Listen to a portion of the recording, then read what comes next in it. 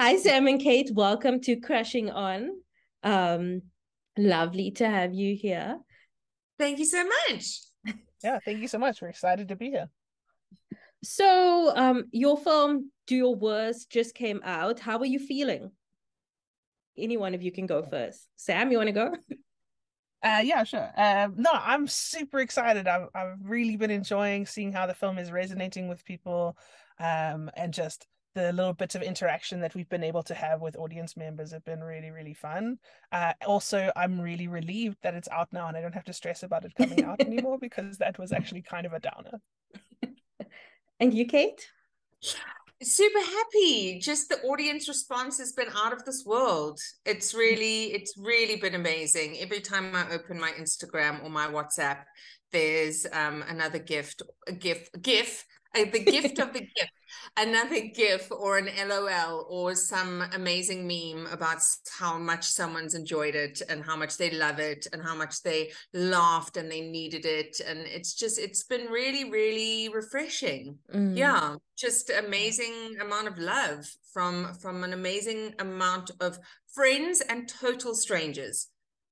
Yeah. It's a very memeable movie like that's very. Honestly, it is. that that was in the design of it guys. I was like part of us were like there's some good gifts in this movie. Like i'm yeah. I, I'm, i love it as a movie and i love i love thinking about it as a whole and a narrative whole but i was also like we gotta make some gifts. So so tell us about the film and why you wanted to get involved in it. Um you can start again with you sam.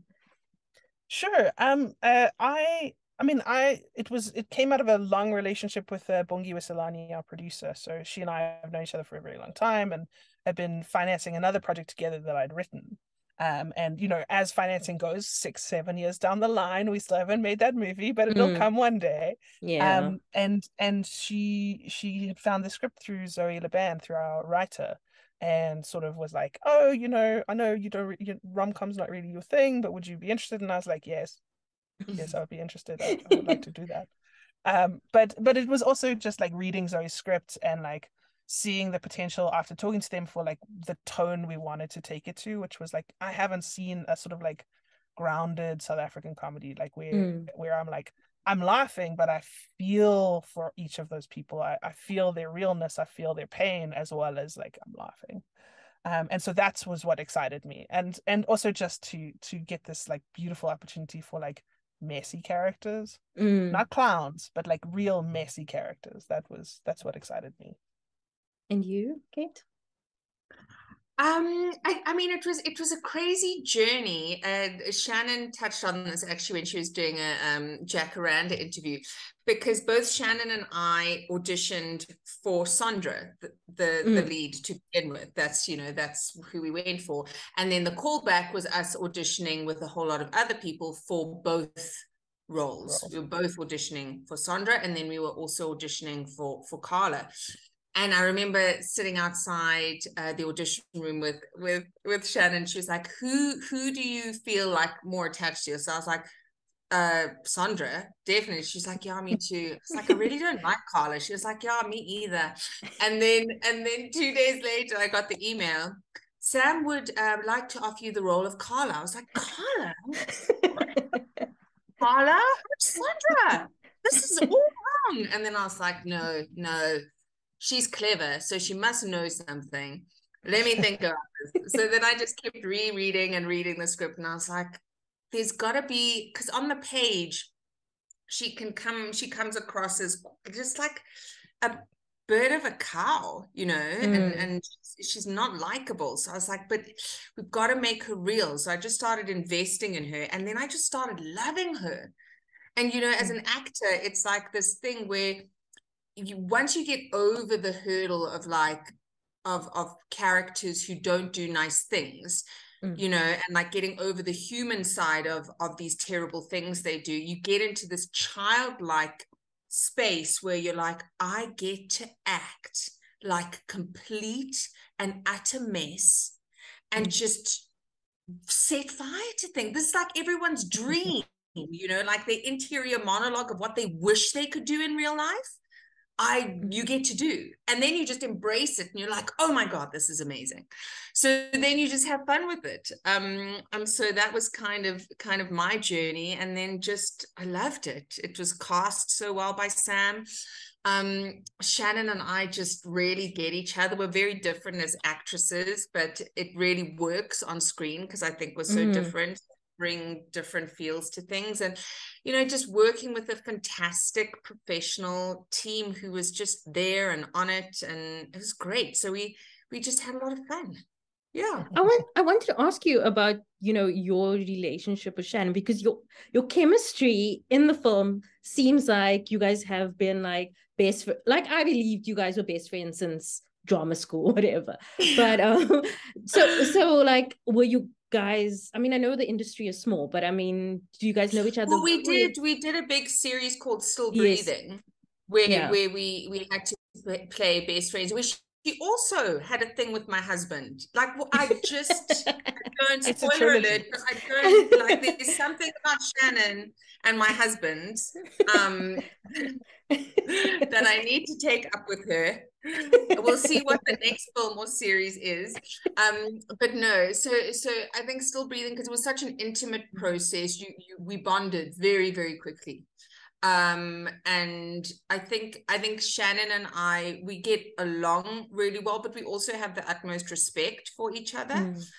um and so it's about kind of just just bringing it you know every day and and meeting each other there and knowing what you're doing and embracing it and and you know it's like um there's a lot of like ugly in this. And it's so it's nice mm. to like you know in, in, acting everyone's like oh it's so glamorous and so nice. But there was there was very little that was glamorous about this. You know you either i was either drunk or hungover in in all of all of the scenes. Um, carla's two speeds. yeah, and, and um, so you you're playing you're playing ugly all the time. So it's nice to like have a person there who's also playing ugly with you. Mm. and you, you, get to like between the takes you're just looking at each other being like god we look terrible. And you can laugh and you can play with it. And it's it just makes the world of difference where you've got like someone in the trenches with you you mm. know? Obviously sam's there but sam's just like trying to juggle all these balls and then Sa- Shannon and I they're kind of like holding each other's hand and supporting each other so you do you become it's it's it's it's real you know you don't you don't really have to mm. fake it because you're you're you're in it and and you're with someone who's who's raising the bar so you raise the bar and, and it's like it's really rad you know it's like playing tennis with someone who's better than you you will play better if you play with someone mm. who's not as good you won't play as well. And it's the same with acting. When you when you act with actors who are are professional and amazing at what they do it immediately ups your game. Um so yeah it was really it was really lovely. So on to the next. We'll have to do a sequel. Yeah. Yeah the, the good one where new husbands. You sleep with no husband or whatever. Some payback time. Mm-hmm but watching this like you know as a woman in her 30s like i was like you know i see so much of myself and my relationships with friends through this because you know we have these messy moments which often aren't shown. So i mean sam with you directing did you have to take did you take inspiration from emotions that you felt in friendships? And yeah and same with you kate did you take inspiration from from your yeah. friendships no, I sorry, I'll I'll jump in first. Yeah. Uh, uh, um. Uh, I, for me, absolutely. It's like I, I went to drama school. Like I, I, mm. I like I've lived this life. I mean, I was never an actor. I, I was only I had to do performance, which everyone will tell you was the bane of my existence.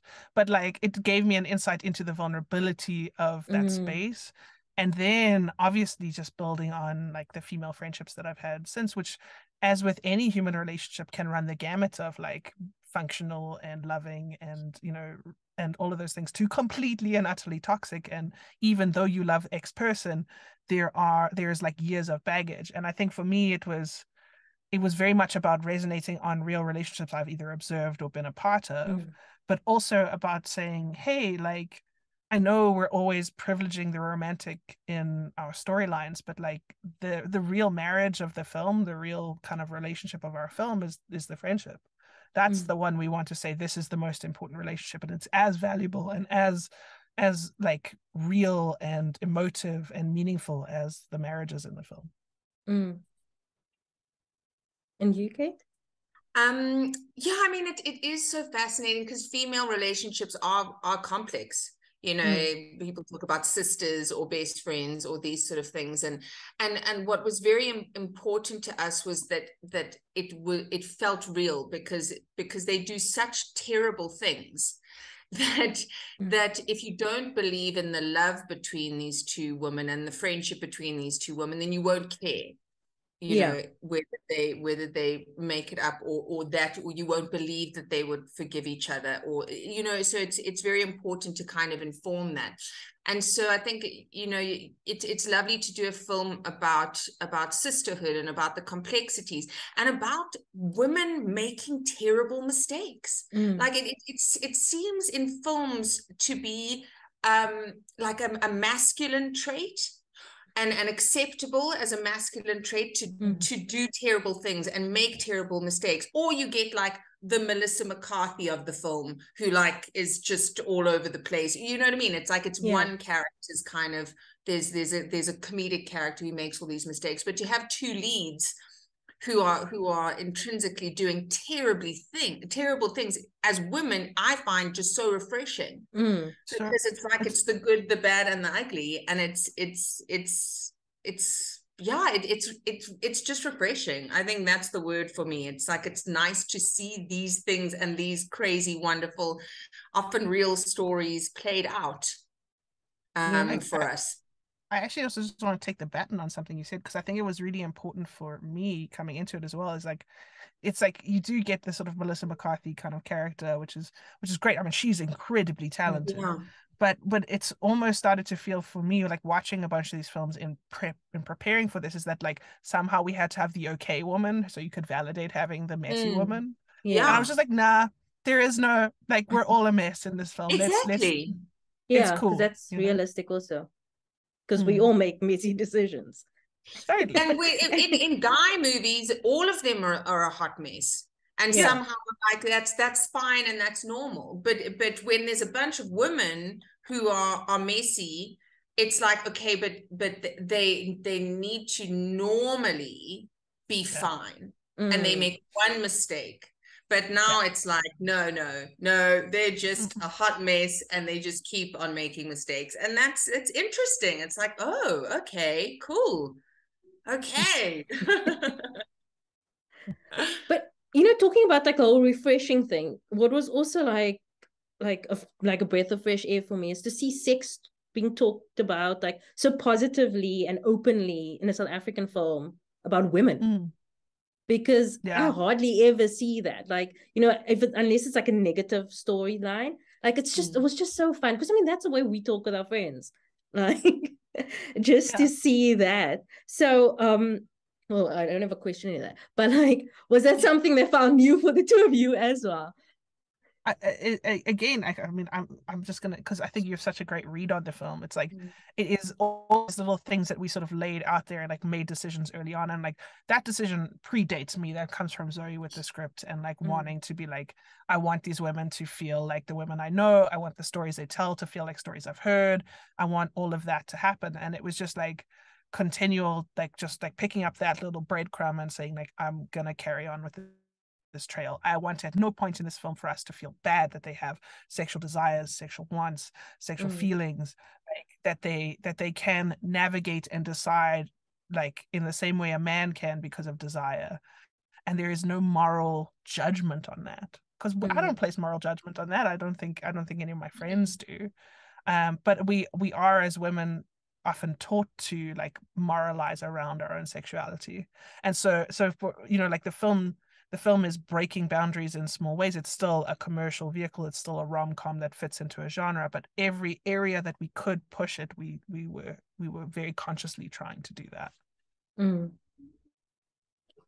Um. So yeah. So okay. Going on to that, like, um, there's a lot of emphasis on us in like normal as women to like find ourselves in our twenties and to come into our thirties like fully formed but like how do you feel that the film depicts how for most of us self-discovery comes later in life? I don't know if either which one of you want to take that one? I'll start. Yeah. Um i just find the older i get the better i feel about mm. everything. Like i was i i spent my 20s apologizing for everything. Like mm. for being me for saying things for doing things in my whole life was like oh excuse me or oh, sorry. And then then when i hit 30 and then it's just like this age this age is shaming thing. It's like big thing it's like no 30 is just mm. so young. You still don't know anything. But but you finding your voice a little bit more and you apologizing a little bit less. And i was like oh this is so much better. It's so much nicer. You still make mistakes and then you're approaching 40 and it's just your your voice is louder but you have a bit more wisdom and i just think that getting older is just fantastic mm. you know and i think it, it's so nice to to to have films that that are looking at this age because things you know women aren't having kids early on anymore women mm. you know what i mean it's it's 40 is in many ways the the new 30 um, but it's all different phases of life and it's just wonderful to to explore them all and to kind of celebrate them all in a way that like has nothing to do with with a frame being put around mm. that age. Because what yeah. does 40 mean? Exactly. Yeah that's my view sam. Say something uh, uh, no, all of those things are correct. I have nothing. No, but uh, but no, it's it's the same. It's like the older the older I get, the more confidence I have, and because the the more you know time I've had to kind of like realize that my opinion is valid and and a and a good divining rod for my sort of like way in the world. Um, and then, but then, you know, sort of cinematically and narratively, uh, I apparently should be dead by now because women only exist under 30 and uh, and who cares? Um, which is a, a, thing that's improved drastically over the last 15 years. Like there are many more stories like this but I, I haven't seen a lot of them here. And and that, again that's where we're coming from. It's mm. like it's like you know we we want something that is resonating with audiences we want something that feels accessible but we want just just to twist it a little bit so you have never seen it before in our context Mm. So, what advice would you guys give to to our listeners that might be going through a friendship breakup? Oh God, they should never take advice from us. Watch don't sleep. Um... Don't sleep with your friend's boy, your friend's husband. Do Your Worst will make you feel better about your life. it's, it's, it's, like it's an extra add-on that we don't speak about, but it will make you feel fantastic about your life choices, and your yeah. life nine out of ten therapists recommend watching Do Your Worst for a good dose of Schadenfreude. Uh, I, I think the big lesson of the film for me, just to answer it seriously, mm. is like, it's like I think I think what changes for these women is when when they really are truthful with each other. That's mm. when when they're able to find a way back to the the real kind of nugget of their friendship, the real meaningful elements. And I think you know we're again to generalize, but like women are taught to deal with conflict very differently to how men deal with conflict and, and a lot of the ways we deal with conflict involves like long out like not telling our friends not mm. being comfortable to go towards the conflict and what's mm. great about this film is like it leads up to an explosion that sort of allows them to then rebuild and that in some ways having those conflicts like having them openly telling someone what you feel and what's not working for you is the best way to kind of fix something mm what Sam said. Yeah, beautiful. yeah, I think it's just yeah, it is exactly that. It's it's a case in point of a small thing bubbling over like 15 years mm. for these two women and then it it just crescendos and it is it's it is so important for us as as human beings to just in a in a more in a safe space kind of scenario is just to to say how you feel or how things make you feel um and that to be okay you know mm. it's okay not to like something or it's okay to be hurt by something yeah. it's how you feel but it's you know towards a, a, resolution and women are awesome i don't know what i would do without my female friends honestly mm. we're rad And this really film cool. is great. You should watch it. You, you should. okay, okay, so my final question is the question we ask everybody, but um who was your first celebrity crush? Oh man. Hey, you go first. I mean, I'm going way back. It was probably like MacGyver. I love that. Hmm. um, you know, I mean, he was like the only other guy that I knew um, outside of my dad when I was like seven. Um, I don't know, celebrity crush. MacGyver's an answer. I mean, yeah, yeah that, would, that would be my first celebrity crush. Yeah, yeah. I think so. If, yeah, it's a practical choice. Yeah. A, yeah, well, he's a very useful person. Yes, exactly. Uh, yeah, I guess probably Buffy the Vampire Slayer for me. Mm. I was I was like, yes, I I would need a strong female character who's also going to slay vampires. That is that works for me.